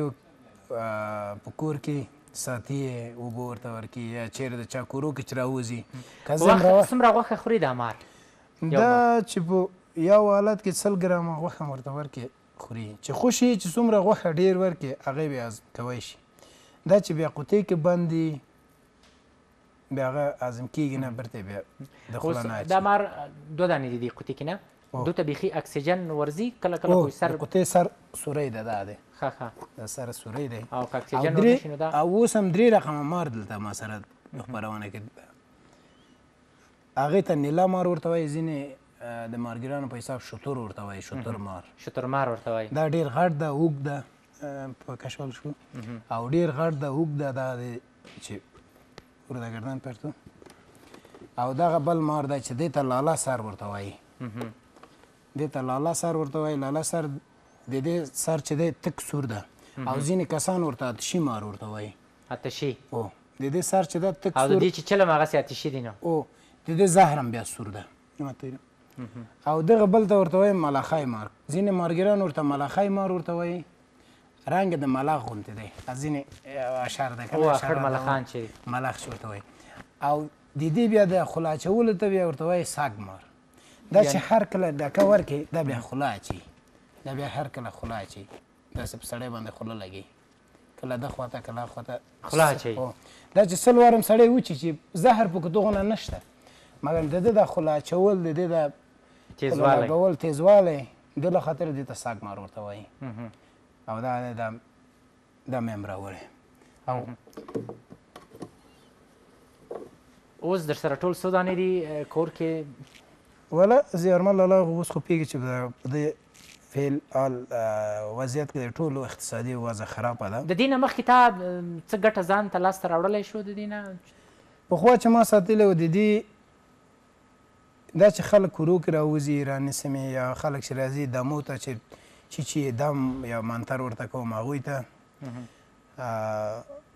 داسې مدرک عیدتي مدرک نه درلوده که زه یو کار ورته جوړ کړم خلکو ته که زه کوم دوا ورته جوړ کړم یا د دوا په ځای چې اوبو بوتل کې ډکم د خلکو پیسو ته کچال ورته جوړ کړم هغوی ما ته راځي خو دا نه د پښو د درد لپاره د دې تیل ګټه لري هغه هم د کبچه ماران چې بیخي فعال جمعي چې یو مساج ورکړي خدای شفا ورکړي وو ښه کېږي خو دغه نه ده چې اوس د دې د مدرک نه زه عاید نه لرم وظیفه لرم شخصي وظیفه پخوا چې تا سره ډېر زیات ول که نه هغه وخت کې د ترېنه عاید درلوده هغه وخت کې وو هغه وخت کې مې عاید ورنه درلوده یو چا سره مې قرارداد ورسره لیک امضا کړی و چې هغه به میاشتنې ما ته پیسې راکول د میاشتې شل یا پنځه ویشت دانې ماران به یې وړل او خارجیانو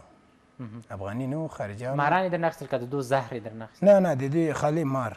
دا مطرح نه و چې په هغه کې زهر شته که نه هغوی داسې موزیم موزیم غونته ځای ورته جوړ کړی او ساتلی وو او میاشت کې میاشت په میاشت د دې خرچه ماته د هغوی له کبله راتله رالیږی به شیدې و دا غوښه دا شیان چې خوري د هغه له خاطره به پیسې راکوو اوس خو پوهېږئ د کنه زه په یوه ورځ کې وغواړم سل دانې مار همدغه یوه ورځ کې ځان ته حاضروی شم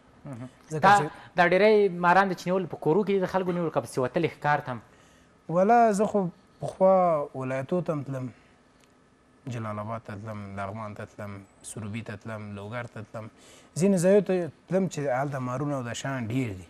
او ماته معلومیږي چې کوم ځای کې مار شته کوم ځای کې ښکار دی دلته شته که نشته همدغه غره ته د شیوکۍ خوا ته غره ته تلم د دې زمبورکشا غر ته ختم عاد مې ضرور چې زه راپورته شوم یو پنځوس دانې شل دانې لاس دانې پنځه دانې داسې خالیم چې زه قدم کېدم راته ښکاري چې دلته شته يو دوه خاص هم پيدا کېږي. د دې خو وزن هم ډېر زيات ده، دا شل دانې دېرش دانې دې په شا ځان سره راوړل، څه رقم؟ ولا زه خو همېش چې چېرې تلم ښه به مجاز تلم، خلطه به راسره و، تيکۍ خلطه به هم له ځان سره جوړوو او بيکونه. دا چې درسره نه وي او د ما يو واسکټ کې داسې يو حالت راغلی چې ما شل دانې ماران په خپل په دا واسکټ په دا جيبو کې ما راساته. هغه واسکټ دې فرمايشي و که عادي واسکټ؟ د همدغه عادي واسکټونه دا کمفیز واسکټونه راځي که دا د تکۍ نه جوړ وو هغه که جیبونه ډیر دي او ټول زیب لري زنځیر لري هغه به هم تړل که نه دا چې چې په رقم شی کې چې پرې دی ځان باندې همغه جیبونه ټول همدا اوس چې زه درته وایم چې د لس واسکټ نه به زه ډیر لرم ټول یو به استر شکیدلی یو به زنځیر خرابي که نه دوه ورې درې ورې به مې اغوندلی ځکه چې دی خرابې ځان ورکې باندې زور لري زور لري مخکې ما چې لاس کې رانیولی ډېر زور و پکې یو یو ځای کې چې یو یو لشت سر به یو سوری کې نه نوځي چې کشې کې راوځي نه زور کوي زور کوي ځان باندې شکیږي خو راوځي نه اوس کیږي مګر ځان ځمکې پسې نه خلي دا ډېری د شپېلۍ د موزیک سره و عادت یې کوم ځای کې څوک شپېلۍ وکړي دا ورته راوځي دا رښتیا دي او کپچا ماران انشاءالله د تا د خپرونې نه به چې یوه ورځ د کپچا ماران خاص یو ځانګړې خپرونه به چې ورته ونیسو چې کاپچا ماران درته راوړم چې دلته په همدغه استودیو کې څو واره ما نور هم راوړي خوشې کړي مې هم دي خو دا واره غواړم چې ځانګړې خپرونه هغوی ته جوړ کړم چې کومه ورځ د ما په لاس چې زه واخ ولرم چې صحیح مار او مارګري خلکو ته وښیي چې انشاءالله که ژوند نو اوس ورته دا شپېلۍ نه کومه نغمه غږولی شي دې مارانو ته هو هو ولې نه تا ته خو په خدمت کې سر تر پښو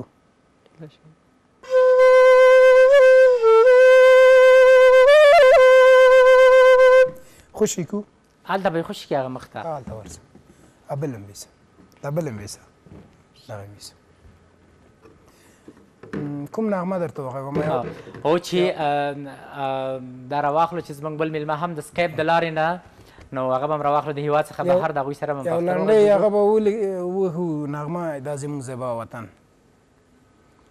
ښه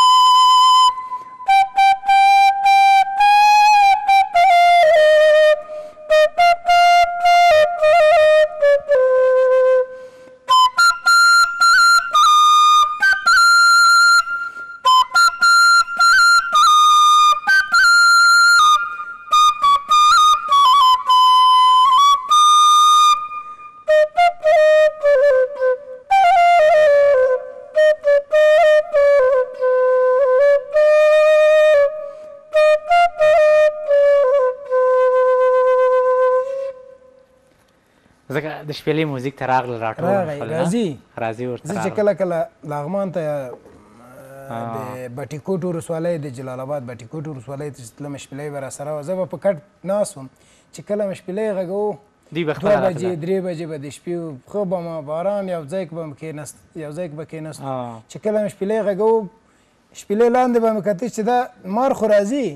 سنډخې به راتلل چونجي به هغه چونجي چې په لاره روان وای ما مارا ګوډه دا واخلم چې خو لاړ شي زما همکاران ونه شي شي همکاران مې ونه شي شي که نه زه به یې راواخلم صابره دره وړم او د تا لاس کې دغونه ښایسته ښکاري زما لاس کې ښایسته ښکاري خپرونه ټی هم راپوره ده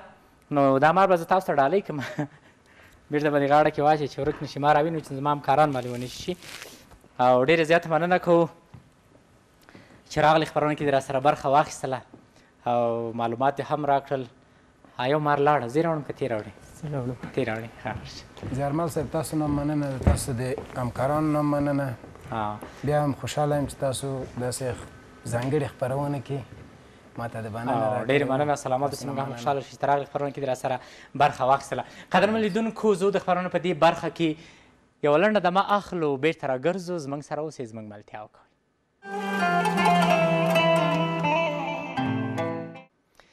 قدرمن لیدونکو بیا هم ښه راغلاست درته وایم وخت مو په خیر ټول ستړي مشي بیا مو هم لوی اختر مبارک شه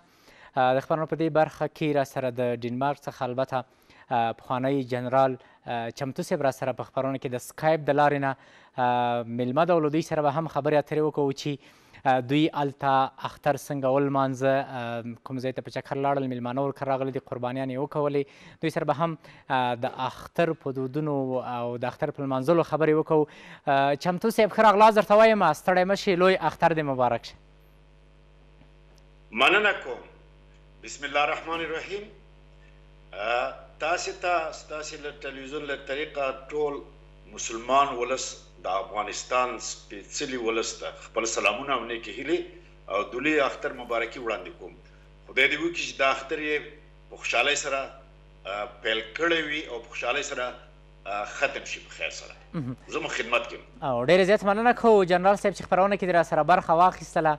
او وخت مو راکړ دا به راته وایي چې ډنمارک افغانانو د اختر لومړۍ ورځ څنګه ولمانځله او تر دې دمه څنګه تېره شوه په خیر سره مننه کوم زیارمل صاحب تاسو مخکې یوه ډېره ښکلې ټپه وویله چې اختر په خپل وطن کې خوان کوي پر پردي وطن کې اختر کله خوان کوي نه را بشه اصلي مطلب دا چې په مسافرۍ کې او د وطن نه په جلا ژوند کول هغه څه چې په خپل وطن کې وي هغه څه داسې نه وي لکه په پردي وطن کې چې موږ مسافر یو البته موږ طبق معمول د خپل اسلامي اصولو په اساس باندې سبايي نهه بجې په ډنمارک په وخت باندې دلته مو د لوی اختر لمونځ په جمع سره په یو غټ مسجد کې چې ټول افغانان راغونډ شوي وو هلته ادا کړه او یو بل ته مو اختر مبارکي وویلې او هم د يو بل کورونو ته د يو بل ليدلو ته چې نژدې ساحه کې پراته يو همسايګان يو د يو بل سره د دوي د کورونو ته مو تګ راتګ په اوليت مو هغه چاته ورکړو چې هغوي په کورونو کې په تيرو يو مياشت دوو کې غمونه وو او کورنۍ غړي وفات شوي وو، د هغوی فاتحې ته ورغلو، لا هم دغه دوام لري چې د دوستانو کورونو ته ورشو، لنډه دا چې هغه فرهنګ او کلتور اسلامي چې زمونږ او ستاسې په هېواد کې دی، په هغه شکل باندې مونږ دلته نه شو لمانځلی، ځکه قرباني کول دلته نه کېږي، یا ځکه دلته چې غریب خلک نشته دی او قرباني ګانې چې مو کړي دي هغه مو خپل هېواد ته، غریبو خلکو ته ما په خپله څو کورنیو ته چې مستحق د دې چې هغوی باید دغه قرباني وکړي هغه پیسې مو راستولي دي د کورنۍ هر غړي هغه خلکو ته چې هغوی بې چاره وو البته وس یې نه درلوده لاسنیوی هم کړی دی او هغه قربانۍ پیسې مو هلته لېږلي دي چې هغوی هلته قرباني وکړي د الله په رضا کې دې خدای قبول کړي. تاسو چمتو سي محترم هغه ډیری افغانان چې الته دي قربانیان یې الته نه کوئ خپل هیواد ته تاسو بیا قربانیان یې دلته کوئ بلکل دلته ځکه چې دغه شرایط نشته دی او دغه غریبي هم دلته نشته چاته هغه منګه دلته که منګه مال یا یو پسه یا یو بل مال منګ دلته حلال کړو اول دا اجازه نشته دی یو بل دا چې دلته داسې غریب څوک نشته دی چې هغه دې مونږ هغلته د خدای په نامه باندې په رضا باندې د الله په رضا باندې هغو ته ورکړو نو ښه او معقوله لاره دا ده چې د خپل هیواد هغه خلک چې بې وسله دي بې وزله دي فقیر دي غریب دي هغو ته باید دغه مرستې واستول شي او تر څو هغوی ترې استفاده وکړي دلته دغه دغه قرباني دلته البته وجود نه لري نه کیږي. چمتو صاحب محترم د هیواد نه اختر بیرونه او په هیواد کې توفیر سره څومره ده ډیر ده کلک زیارمل صاحب توفیر ډیر زیات دی اول زما تقریبا 20 کال کېږي چې زه د ډنمارک په هیواد کې مهاجر یا بې وطنه پروت یم ولی ما ټول کلونه همیشه تاسو ته او د یو تعداد افغانانو ته بهتره معلومه ده چې زه پخپله په داخل د خپل هیواد کې مې دنده وه او ما هلته اوسیدلم کله چې به اختر شو زه به ما ما هلته پاتې وم ډیر خوند یې راکوو راته خپل هیواد او د خپلو خلکو په منځ کې د د اختر لمانځل او د نور دینی مقدسات لمانځل فرهنګ کلتور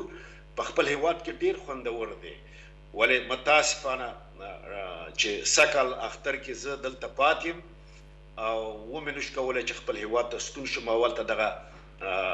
اختر ولمانځم یا د اختر شپې هلته تېرې کړم نو د هېواد او د افغانستان د خلکو فرهنګ عالي فرهنګ دی ډېر اوچت اسلامیت یې ډېر قوي اسلامیت دی د افغانانو او دغه فرهنګ چې زموږ په ټولنه کې د مېلمه پالنې افغانیت او اسلامیت دې په ډېرو هېوادونو کې نشته دی البته دلته د بې وطنۍ شپې دي د پردې وطن دی زمونږ وطن نه دی وطن مو افغانستان دی پر مونږه ګران دی ولې په تعصب سره چې یو څه مشکلات شته چې دغه مشکلات خو دې حل کړي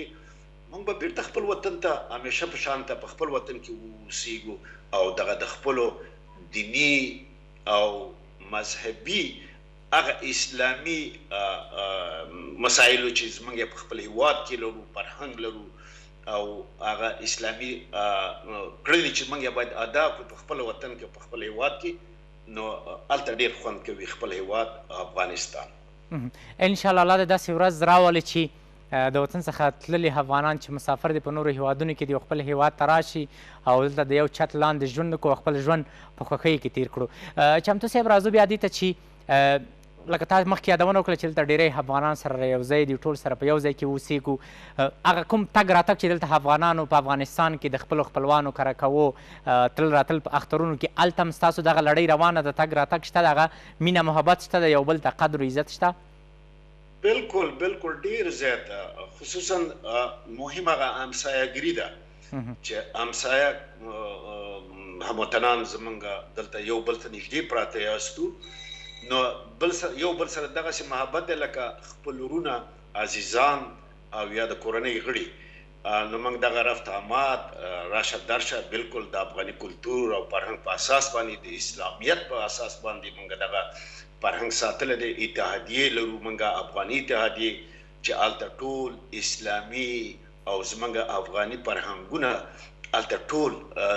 یعنې لیدل کېږي، په دغه افغانانو په منځ کې یو بل سره روغبړ، د یو بل سره ناسته ولاړه، هر یو په خپل کور کې. کله چې موږ دغه اتحادیه غونډه کوو، هر افغان خپل کور کې یو څه شی خواړه برابروي، ځان سره یې اخلي او وړي، په هغه مهال کې ټول په شریکه سره یو بل سره کیني، نږدې هغه نوش جان کوي او د هغې نه استفاده کوي، هغوی خوشحالي کوي، د خپل وطن، د خپل هېواد هغه فرهنګ چې هلته په وطن کې دوی لیدلی دی، دلته یې تازه کوي، په اصطلاح باندې دلته یې عملي کوي هم، ولې؟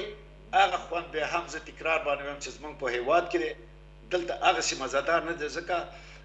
محیط دغه سي محدودیت لري هغه محدودیت دا دی چې اکثریت خلک وګړي کار ته ځي بیکاره نشته دی نر او ښځه کار ته ځي ماشومان دی هغه مکتبو ته ځي که انجونې دی هغه مکتبو ته ځي که ناریده دی هغه کار ته ځي که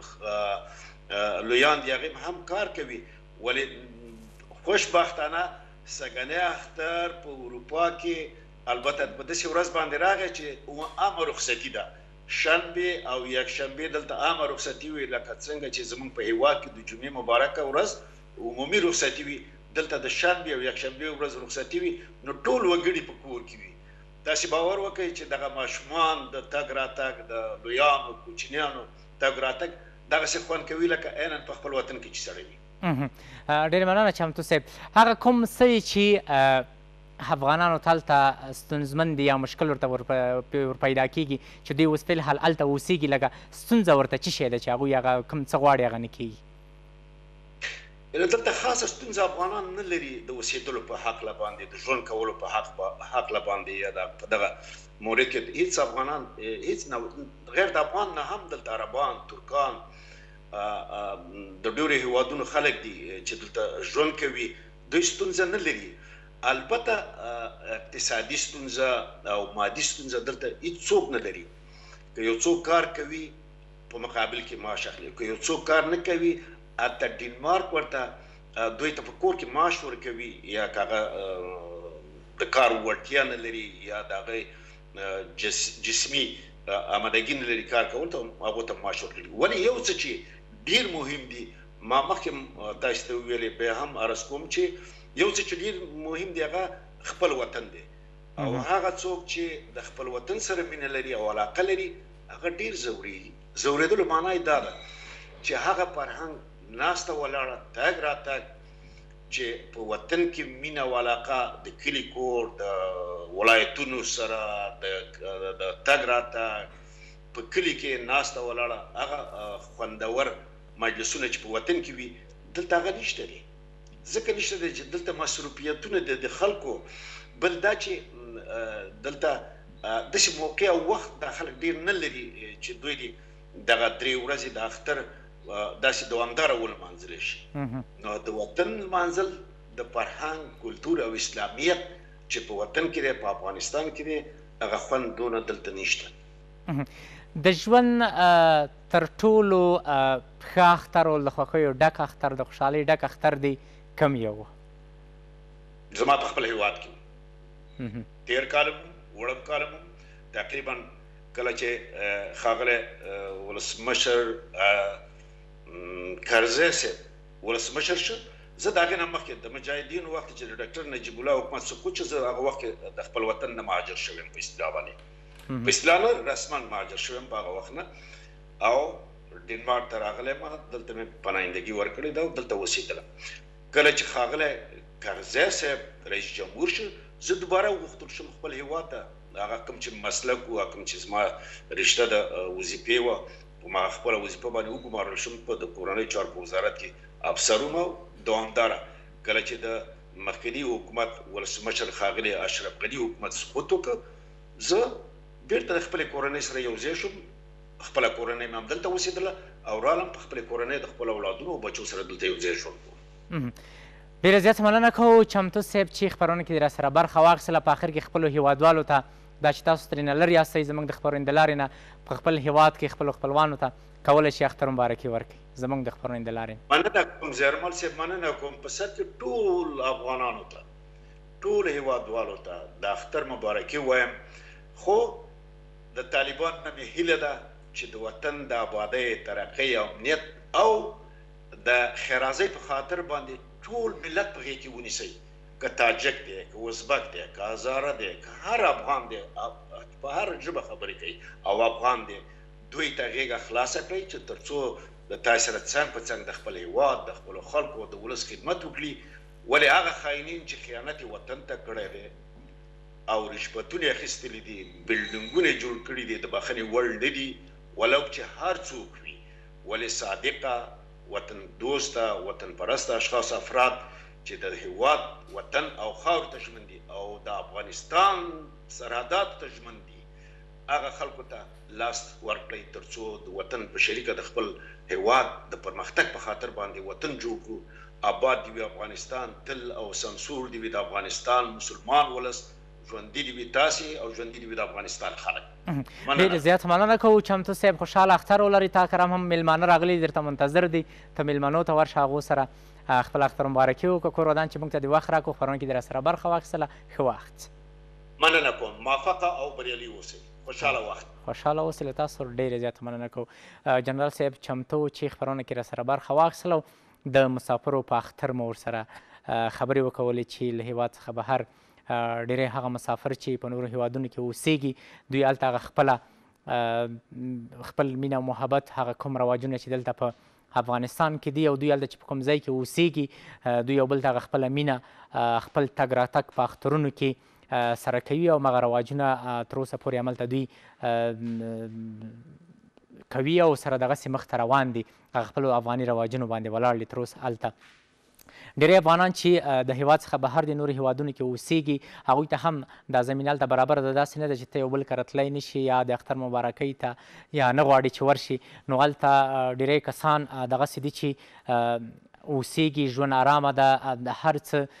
ددوی لپاره هلته چمتو دی داسی کومه ستونزه مشکل نشته چی دوی ورسره لاس او ګریوان چې لکه خپله چمتو سوي ولي چې دلته څوک اوسي هغوی دلته د اقتصادي ستونزي نه لري نو په ژوند کې چې ډیری مشکلات سړي ته مخته راولي او سره مخ کیږي مشکل ته نه پیدا کیږي هغه یوازینی اقتصادي ستونزه ځکه چې دا نور هیوادونه آباد شوي دي دومره پرمختګ یې کړی ده په هغو هیوادونو کې ژوند ته کار شوی ده تعلیم ته کار شوی ده پرمختللي هیوادونه دي چې په هغو هیوادونو کې اولیت هلته تعلیم ته ورکول کیږي نو هلته هغوی خپل وطن ته خپل هیواد ته مشران او کشران ټول ژمن پاتې کیږي هغه د چې ټول خپل کارونه لري د هغې ترڅنګ مصروفیتونه لري کاروبار لري خپل ژوند دی داسې په سیستم باندې روان کړی دی چې نه د هغوی په اقتصاد کې کومه ستونزه راځي نه کموالی راځي او نه د دوی په ژوند کې داسې کوم مشکل را پیدا کېږي هر څه د دوی لپاره اماده دي او خپل ژوند په سمه توګه سره مخته وړي هغه نو چې هلته کوم افغانان اوسېږي هغوی لپاره هم دغه زمینه هغوی برابره کړې ده اماده کړې ده او په دغې رقم باندې دوی هم خپل ژوند ورسره په هغه رقم باندې چې دوی خپل ژوند کوي دوی ته هم همغه زمینه برابره کړې ده خپل ژوند مخته سره وړي خو موږ به دا دعاګانې کوو چې زمونږ ګران وطن افغانستان هم یو ورځ داسې ورځ راشي چې د نورو هیوادونو سره سیال شي او موږ خپل ژوند خپل افغانان چې په نورو هیوادونو کې دي په نورو هیوادونو کې نورو هیوادونو ته دوی خدمت کوي راشي په خپل وطن کې د خدمت جوګه وګرځي او په خپل هیواد کې خدمت وکوي نو دا هر څه د تعلیم نه کېږي نو موږ هم باید دا کوشش وکړو چې خپل راتلونکی یا خپل ځوانان ماشومان دې ته واسو چې تعلیم وکړو ځکه چې هر هیواد نن پرمختللی ده مخته تللی ده، ژوند یې ارامه ده، کار ورته شوی ده، هغوی یوازینۍ حلت یې دا ده چې هلته تعلیم ته ډېر کار شوی ده، تعلیم شوی ده، نو ځکه چې په یو هېواد کې تعلیم وي نو هغه د هرې برخې نه په امان کې وي او خلک یې په ارامتیا سره په سوکالۍ کې، سوله کې ژوند کوي، ځکه د نورو ناخوالو څخه خلاص دي، زموږ ګران وطن افغانستان څلوېښت کاله جګړه ده چی زمونږ ډیری افغانان د جګړی مهاجر کړل د خپل هیواد څخه لاړل څه چې په هیواد کې دي ډیری د اقتصادي ستونزو له وجې نه نشي کولای چې هغه خپلو زده کړو ته دوی دوام ورکړي خپلې زده کړې وکوي خو بیا به هم امید لرو دا دعا به کوو چې په ګران وطن افغانستان کې تلپاتې سوله راشي امن راشي او یو ورځ داسې راشي چې موږ هم د نورو هیوادونو په شان باندې لکه څنګه چې هلته نور خلک ژوند کوي موږ داسې پرمختګ ولرو ښه ژوند ولرو او د ژوند ټولې چارې او ټول مشکلات مو حل شي او په ارامه فضا کې ټول افغانان ژوند وکړو او له ژوند څخه خوند واخلو قدرمن لیدونکو له تاسو ټولو نړۍ مننه کوم چې تر دې دمه زمونږ سره وی او زمونږ ملتیا مو وکوله اختر مو مبارک شه خپرونه مو راسره تر دې دمه واورېدل او ومو لیدل او ستاسو په کورونو کې میلمانه وو، خدای دې وکړي چې ستاسو هم څو لحظې زموږ سره په خوښیو کې تېرې شوې وي. نو بیا هم د شمشاد تلویزیون پاتې خپرونو مه هېروئ، له شمشاد تلویزیون سره اوسئ، همیشه کوشش وکړئ چې خپل دوستان، خپل ملګري، خپل خپلوان خوشحاله وساتئ، له چا سره کینه په زړونو کې مه ساتئ او له خوښیو څخه ډک اختر درته غواړم، هر چېرته چې یاستئ خوشحاله سوکاله ژوند، د خدای په امان ښه وخت. له لیدلو مو مننه.